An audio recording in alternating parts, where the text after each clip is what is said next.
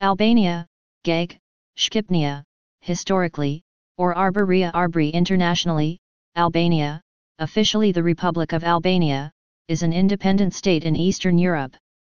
It lies in the western part of the Balkan Peninsula and northwest borders with Montenegro, Kosovo to the northeast, to the west with the former Yugoslav Republic of Macedonia and southern Greece.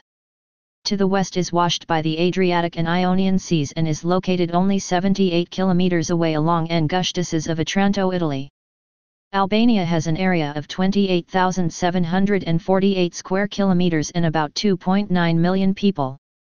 Heir to ancient Illyrian civilization, Albania has made significant progress with economic, social, and cultural backwardness after centuries under the Ottoman Empire and dictatorial regimes during the century. XX After the collapse of communist rule in 1991, Albania has experienced a difficult period of transition towards democracy and free market economy. Since 2009, Albania is a NATO member and candidate applicant for membership in the European Union.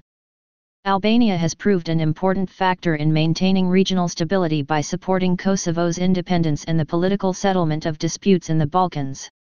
Meanwhile, the Albanian state is enjoying improvement of tourism development, also holds the 25th place in the world for environmental maintenance.